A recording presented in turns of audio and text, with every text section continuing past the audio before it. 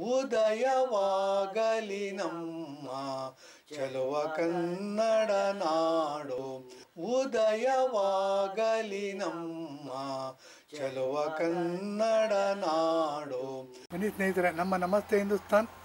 ಮೈಸೂರು ಹಿಂದಿನ ಎಪಿಸೋಡ್ಗೆ ಎಲ್ಲರಿಗೂ ಸ್ವಾಗತ, ಸುಸ್ವಾಗತ. ನೋಡಿ, ನಾವು ಕರ್ನಾಟಕದವರು. ಕನ್ನಡ ನಮ್ಮ ಮಾತೃಭಾಷೆ. ಕನ್ನಡ ಕಾಮಧೇನು ಕರ್ನಾಟಕ ಕಲ್ಪವೃಕ್ಷ ಅಂತ ಕರಿತೀವಿ. ಬನ್ನಿ, ಇದು ಬರೇ ಬಾಯಿ ಮಾತಲ್ಲ. ಕರ್ನಾಟಕ ಎಷ್ಟು ಸಮೃದ್ಧಿಯಾಗಿದೆ, ಎಷ್ಟು ಡೆವಲಪ್ಡ್ ಪ್ರದೇಶ.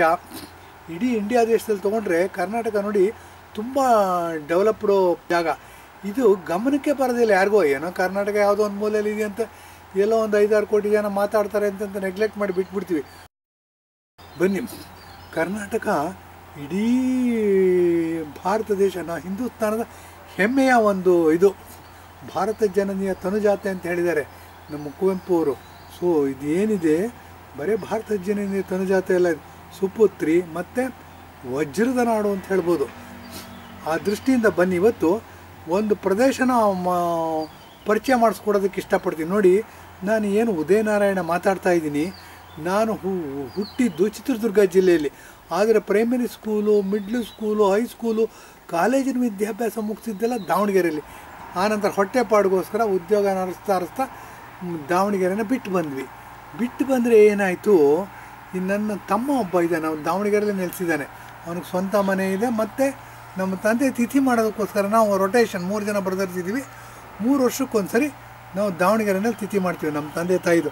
ಹಾಗಾಗಿ ದಾವಣಗೆರೆಗೆ ಹೋಗೋಂಥ ಪ್ರಸಂಗ ಬಂತು, ಕೊರೋನಾ ಆದಮೇಲೆ. ಮೊನ್ನೆ ತಾನೇ ಹೋಗಿದ್ದೆ. ಅಲ್ಲಿ ಹೋದ್ಮೇಲೆ ನೋಡಿ, ನಮ್ಗೆ ಹೊಸ ಹೊಸ ಬೆಳವಣಿಗೆಗಳು ಏನಾಗುತ್ತೆ ಅನ್ನೋದು ಗೊತ್ತೇ ಆಗೋದಿಲ್ಲ. ದಾವಣಗೆರೆಗೆ ಹೋದ್ಮೇಲೆ ಏನಪ್ಪ ವಿಶೇಷ ಅಂತ ಕೇಳಿದ್ರೆ ನರೇಂದ್ರ ಮೋದಿಯವರು ಸ್ಮಾರ್ಟ್ ಸಿಟಿ ಇದನ್ನು ಯೋಜನೆಗಳನ್ನ ಅನೌನ್ಸ್ ಮಾಡಿದ್ದಾರೆ. ಆ ಯೋಜನೆಗಳ ಪ್ರಕಾರ ದಾವಣಗೆರೆನ ಒಂದು ಸ್ಮಾರ್ಟ್ ಸಿಟಿಗೆ ಇದಾಗಿದೆ ಸೆಲೆಕ್ಟ್ ಆಗಿದೆ. ಹಾಗಾಗಿ ಇಲ್ಲಿ ನೂರಾರು ಕೋಟಿ ರೂಪಾಯಿ ಅಭಿವೃದ್ಧಿಗೋಸ್ಕರ ಬರುತ್ತೆ, ಅನುದಾನ ಬರುತ್ತೆ. ನಮ್ಮೂರು ಇಷ್ಟು ಜನ ಗಲ್ಲಿ ಗಲ್ಲಿನೂ ಸಹ ಸಿಮೆಂಟ್ ರೋಡ್ ಮಾಡಿ, ಸಿ ಇಂಟರ್ಲಾಕ್ ಸಿಮೆಂಟ್ ಟೈಲ್ಸ್ಗಳು ಹಾಕಿದ್ದಾರೆ. ಮತ್ತು ಮ್ಯಾನ್ ಹೋಲ್ಗಳು ಎಷ್ಟು ಚೆನ್ನಾಗಿದ್ದಾವೆ ಅಂತಂದರೆ ಇಂಟ್ರ್, ಯಾವುದೇ ಇಂಟರ್ನ್ಯಾಷನಲ್ ಸ್ಟ್ಯಾಂಡರ್ಡ್ನ ಬೀಟ್ ಮಾಡುತ್ತೆ. ಹೀಗೆ ಊರಿನ ಪಾರ್ಕ್ಗಳನ್ನ ಡೆವಲಪ್ ಮಾಡಿದ್ದಾರೆ ರಸ್ತೆಗಳನ್ನ ಡೆವಲಪ್ ಮಾಡಿದ್ದಾರೆ ಡ್ರೈನೇಜ್ಗಳನ್ನ ಡೆವಲಪ್ ಮಾಡಿದ್ದಾರೆ. ಇದು ಹೀಗೆ ಬೆಳವಣಿಗೆ ಮಾಡ್ತಾ ಇದನ್ನ ಹೇಳ್ತಾ ಡೆವಲಪ್ಮೆಂಟ್ಗಳನ್ನ ಎಣಿಸ್ತಾ ಹೋದರೆ ಬಹಳ ಸಿಗುತ್ತೆ.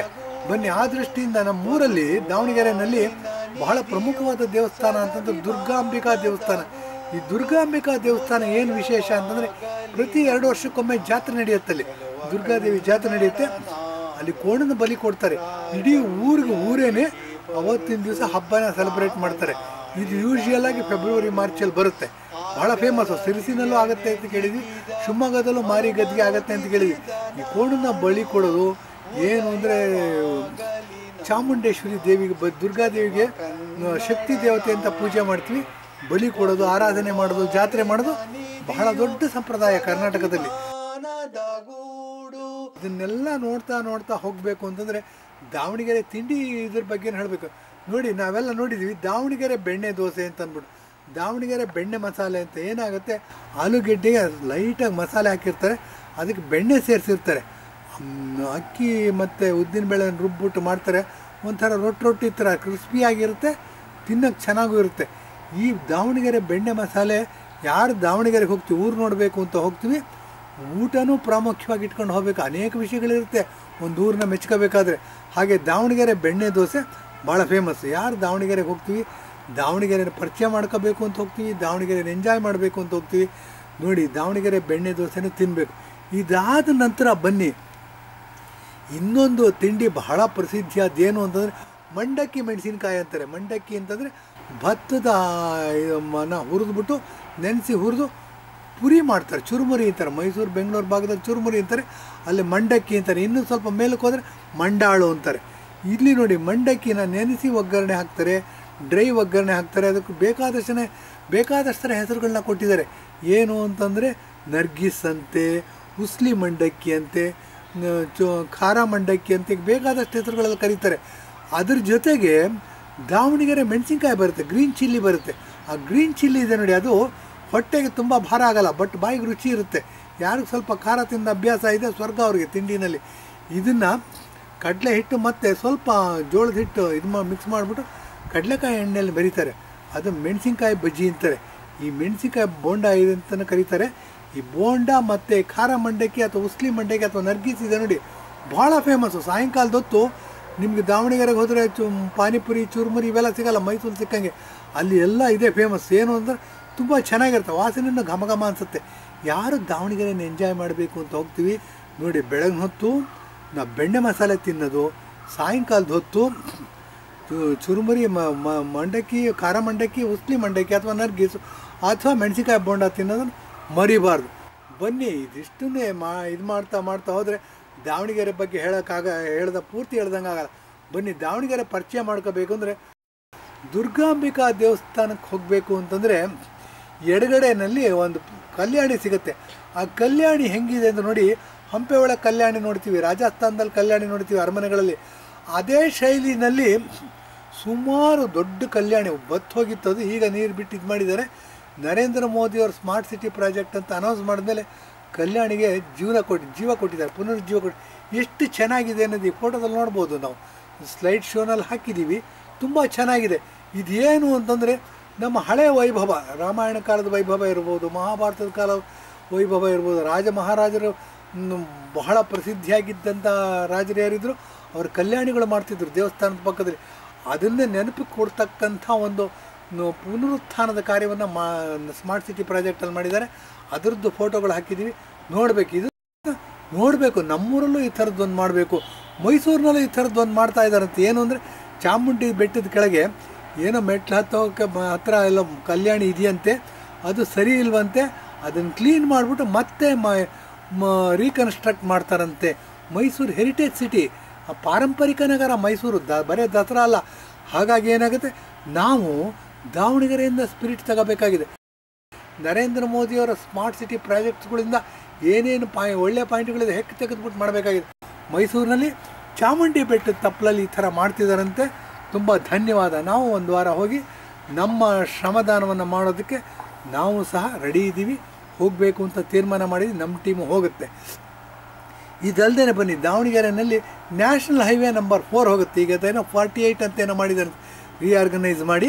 ಆ ನಮ್ಮ ನ್ಯಾಷನಲ್ ಹೈವೇ ಏನಾಗುತ್ತೆ? ಊರೊಳಗೆ ಹೋದರೆ ಟ್ರಾಫಿಕ್ ಜಾಸ್ತಿ ಅಂದ್ಬಿಟ್ಟು ಒಂದು ಬೈಪಾಸ್ ಮಾಡಿದ್ದಾರೆ. ಆ ಬೈಪಾಸಲ್ಲಿ ಹೋಗ್ತಾ ಬಲಗಡೆಗೆ ಹೋದ್ರೆ ನೋಡಿ, ಒಂದು ಗ್ಲಾಸ್ ಹೌಸ್ ಇದೆ. ಈ ಗ್ಲಾಸ್ ಹೌಸು ಮತ್ತು ಅದ್ರ ಸುತ್ತಮುತ್ತಲು ಇರ್ತಕ್ಕಂಥ ಸುಮಾರು ನಲವತ್ತು ಫೋಟೋಗಳು ಹಾಕಿದ್ದೀವಿ. ತುಂಬ ಚೆನ್ನಾಗಿದೆ. ನಾವು ಬೆಂಗಳೂರಿನಲ್ಲಿ ಇರ್ತಕ್ಕಂಥ ಗ್ಲಾಸ್ ಹೌಸ್ ನೋಡಿದ್ವಿ. ಮೈಸೂರಿನಲ್ಲಿ ಕುಪ್ಪಣ್ಣ ಪಾರ್ಕಲ್ಲಿ ಇರ್ತಕ್ಕಂಥ ಗ್ಲಾಸ್ ಹೌಸ್ ನೋಡಿದ್ವಿ.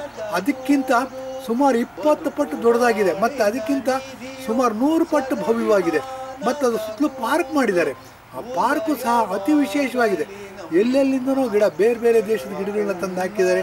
ಅದನ್ನು ಅತಿ ಸೂಕ್ಷ್ಮವಾಗಿ ಸಾಕ್ತಾ ಇದ್ದಾರೆ. ಇದ್ರದ್ದೆಲ್ಲ ಫೋಟೋ ಹಾಕಿ. ನೋಡಿ, ಇದನ್ನು ನೀವು ಸಾಮಾನ್ಯವಾಗಿ ಇಂಡಿಯಾ ದೇಶದಲ್ಲಿ ಹುಡುಕೊಂಡು ಹೋದ್ರೆ ಮಾತ್ರ ಸಿಗತ್ತೆ ಈ ಥರದ್ದು. ಸಾಮಾನ್ಯವಾಗಿ ಎಲ್ಲರೂ ನೋಡಬೇಕು ಅಂತ ಹೋದರೆ ಹತ್ತು ಸಾವಿರ, ಇಪ್ಪತ್ತು ಸಾವಿರ ರೂಪಾಯಿ ಖರ್ಚು ಮಾಡಿದ್ರೆ ನಿಮ್ಗೆ ನೋಡೋಕ್ಕಾಗೋದಿಲ್ಲ ಅಷ್ಟು ಸ್ಮ ಬ್ಯೂಟಿಫುಲ್ ಆಗಿ, ಅಷ್ಟು ಭವ್ಯವಾಗಿ ನರೇಂದ್ರ ಮೋದಿ ಅವರು ಸ್ಮಾರ್ಟ್ ಸಿಟಿ ಪ್ರಾಜೆಕ್ಟಲ್ಲಿ ದಾವಣಗೆರೆಯಲ್ಲಿ ಕೆಲಸ ಇದು ಮಾಡಿದ್ದಾರೆ. ತುಂಬ ಹೆಮ್ಮೆ ವಿಷಯ. ನಾವೇನಾಗುತ್ತೆ ನೋಡಿ, ಹುಯಿಲ್ಗೋಳ್ ನಾರಾಯಣರಾವ್ ಬಗ್ಗೆ ಮಾತಾಡ್ತಿರ್ತೀವಿ ನಾವು. ಕರ್ನಾಟಕ ಏಕೀಕರಣ ಆಯಿತು. ಬಿಜಾಪುರ, ರಾಯಚೂರು, ಬಳ್ಳಾರಿ ಕೆಲವು ಭಾಗ, ಬೆಳಗಾಮು ನಮ್ಮ ಊರಲ್ಲಿ, ನಮ್ಮ ಕರ್ನಾಟಕ ದೇಶದಲ್ಲಿ ಸೇರ್ಕೊಂಡಿದೆ ಅಂತಂದರೆ ನಾವು ಕುವೆಂಪುನವ್ರಿಗೆ ಎಷ್ಟು ಮಹತ್ವ ಕೊಡ್ತೀರಿ? ಅದು ನೂರು ಪಟ್ಟು ಜಾಸ್ತಿ ಹುಯಿಲ್ಗೋಳ್ ನಾರಾಯಣರಾವ್ ಅವರ ಪದ್ಯಕ್ಕೆ ಕೊಡಬೇಕಾಗತ್ತೆ. ಅಂದರೆ ಈ ಪದ್ಯದ ಸ್ಫೂರ್ತಿನೇ ನಮಗೆ ಇವತ್ತು ಕರ್ನಾಟಕ ಏಕೀಕರಣ ಆಗಿರೋದು.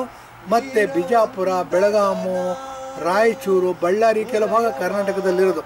ಇದಕ್ಕೆಲ್ಲ ಕಾರಣೀಭೂತರು ಹುಯಿಲ್ಗೋಳ್ ನಾರಾಯಣರಾವ್. ಹುಯಿಲ್ಗೋಳ್ ನಾರಾಯಣರಾವ್ ನಾವು ಎಷ್ಟು ನೆನೆಸ್ಕೊಂಡ್ರು ಸಾಲದು. ಅವ್ರಿಗೆ ಏನು ಮರ್ಯಾದೆ ಕೊಡಬೇಕು, ಏನು ಕೊಡಬೇಕಿತ್ತು ಅದನ್ನು ಕೊಡ್ತಾ ಇಲ್ಲ ನಾವು.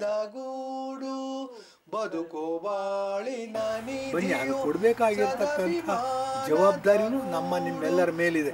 ಯಾಕೆ ಅಂದರೆ ಇವತ್ತು ಕರ್ನಾಟಕ ಎಷ್ಟು ದೊಡ್ಡದಾಗಿದೆ ಅಂತಂದರೆ ಅದಕ್ಕೆ ಮೊಟ್ಟ ಮೊದಲನೇ ಕಾರಣಕರ್ತರು ಹುಯಿಲ್ಗೋಳ್ ನಾರಾಯಣರಾವ್. ಇದನ್ನೆಲ್ಲ ಜ್ಞಾಪಿಸ್ಕೊಂಡು ಸ್ಮಾರ್ಟ್ ಸಿಟಿ ಪ್ರಾಜೆಕ್ಟ್ ಬಗ್ಗೆ ದಾವಣಗೆರೆ ಇದನ್ನು ತೊಗೊಂಡು ಮಾತಾಡ್ತಾ ಇದ್ದೀವಿ ದಾವಣಗೆರೆ ನೋಡಿ ಇದ್ರ ವಿಶೇಷತೆ ಇನ್ನೊಂದೇನು ಅಂದರೆ ಎಕ್ಸ್ ಆಕ್ಸಿಸ್ ವೈ ಆಕ್ಸಿಸ್ ಅದು ಉತ್ತರ ದಕ್ಷಿಣವಾಗಿ ಒಂದು ಕರ್ನಾಟಕಕ್ಕೆ ಮಧ್ಯಕ್ಕೆ ಲೈನ್ ಹಾಕಿದ್ರೆ ಅಥವಾ ಪೂರ್ವ ಪಶ್ಚಿಮಕ್ಕೆ ಒಂದು ಲೈನ್ ಹಾಕಿದ್ರೆ ಹೆಚ್ಚು ಕಡಿಮೆ ಸೆಂಟರ್ ಪಾಯಿಂಟ್ ದಾವಣಗೆರೆ ಸಿಗುತ್ತೆ.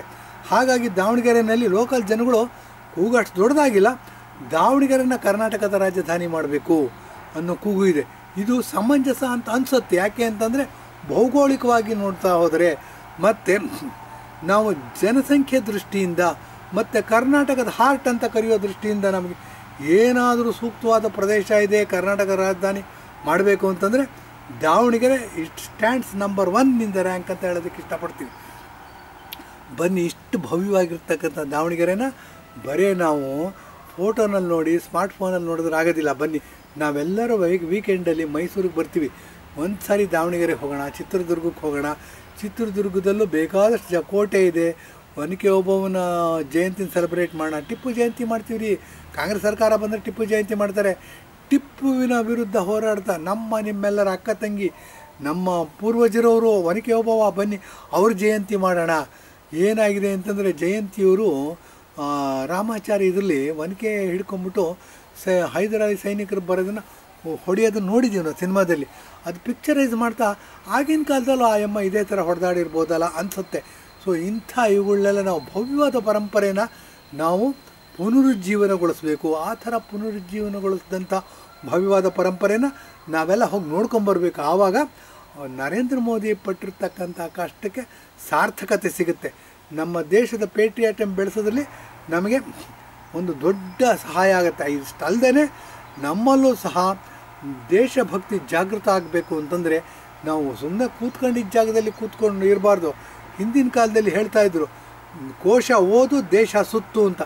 ದೇಶ ಸುತ್ತದೇನೆ ನಮಗೆ ಪ್ರಪಂಚಿಕ ಜ್ಞಾನ ಬರೋದಿಲ್ಲ. ಆ ದೃಷ್ಟಿಯಿಂದ ಬನ್ನಿ, ನಾವು ಕರ್ನಾಟಕದಲ್ಲಿ ಯಾರು ಮೈಸೂರು, ಬೆಂಗಳೂರು ಭಾಗದವ್ರು ಇದ್ದೀವಿ ದಾವಣಗೆರೆನ ಹೋಗಿ ನೋಡ್ಕೊಂಡು ಬರೋಣ. ದಾವಣಗೆರೆ ಹೋಗಿ ನೋಡ್ಕೊಂಡು ಬಂದು, ಅಲ್ಲಿ ಮಂಡಕ್ಕಿ ಮೆಣಸಿನ್ಕಾಯಿ ತಿನ್ನೋಣ, ಬೆಣ್ಣೆ ದೋಸೆ ತಿನ್ನೋಣ ಗ್ಲಾಸ್ ಹೌಸ್ ನೋಡ್ಕೊಂಬರೋಣ ಕಲ್ಯಾಣಿ ನೋಡ್ಕೊಂಬರೋಣ ದುರ್ಗಾ ಪರಮೇಶ್ವರಿಗೆ ಹೋಗಿ ನಮಸ್ಕಾರ ಹಾಕ್ಕೊಂಬರೋಣ ಆವಾಗ ನಮ್ಮ ದೇಶಭಕ್ತಿ ತಾನಿಟಿಗೆ ತಾನೇ ಬೆಳೆಯುತ್ತೆ. ಎಲ್ಲರೂ ಈ ಥರ ಮಾಡೋಕ್ಕೆ ಶುರು ಮಾಡಬೇಕು ಅಂತ ಹೇಳಿ ಇಂದಿನ ಎಪಿಸೋಡ್ ಮುಗಿಸ್ತಾ ಇದ್ದೀನಿ. ಧನ್ಯವಾದ. ನಮಸ್ಕಾರ. ಸಬ್ಸ್ಕ್ರೈಬ್ ಮಾಡಿ ಲೈಕ್ ಮಾಡಿ ಶೇರ್ ಮಾಡಿ. ಧನ್ಯವಾದ.